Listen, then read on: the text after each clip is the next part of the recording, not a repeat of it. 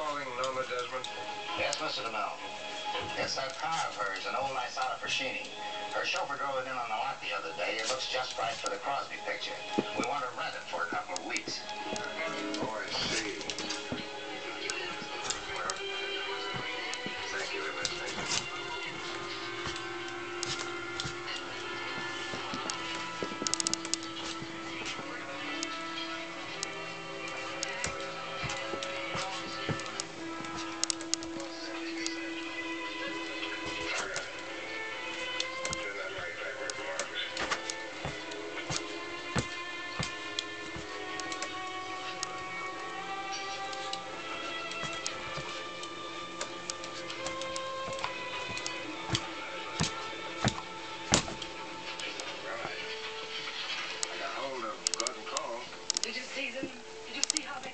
What'd you do?